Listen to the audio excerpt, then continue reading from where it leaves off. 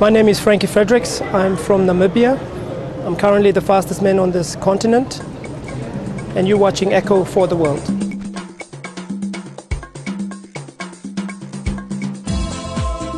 Our planet is calling out for help. And companies are answering with environmental and sustainable development. Switzerland's co-op is spearheading a project to grow organic cotton in India.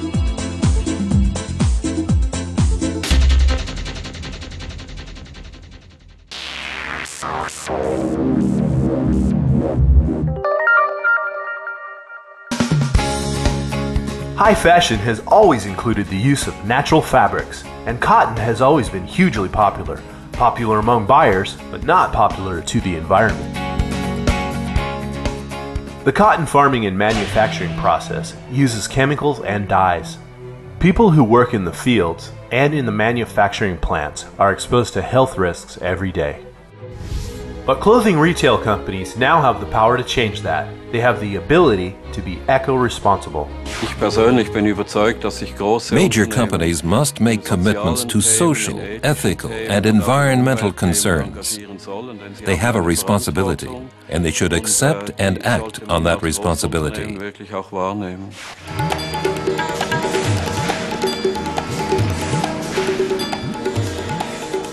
Co-op is a retail company that has become the world's largest seller of organic cotton clothing.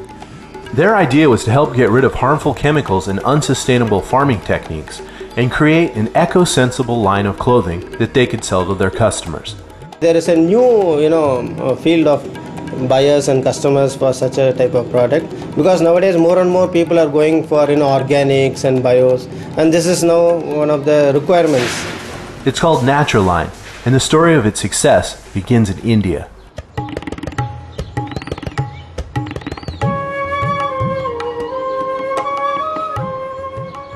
In India, cotton growing is a 3,000 year old tradition.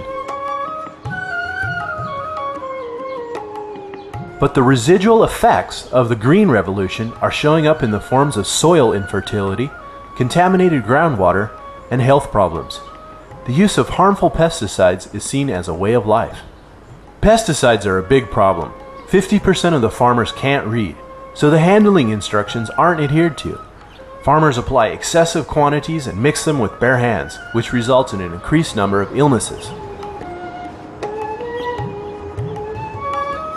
Conventional cotton is grown in monocultures. That means farmers don't rotate their crops. They just grow the same thing over and over again eventually using up all the nutrients that the cotton needs to grow. Once the soil is depleted, more fertilizer is needed and yields go down fast.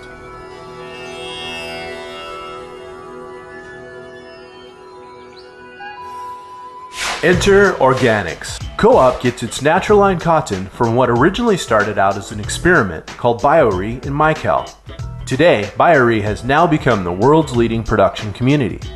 Co-op finance their training school where they are taught new methods of farming.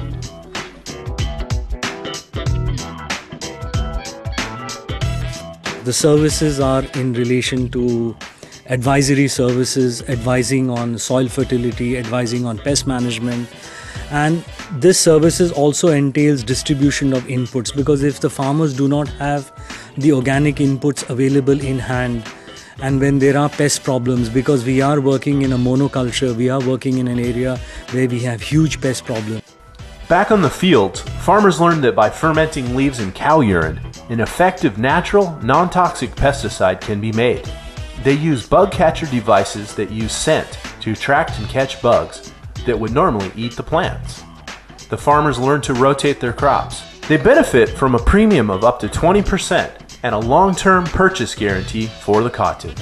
In the factory, Naturaline textiles are chlorine-free, bleached and dyed without toxic heavy metals.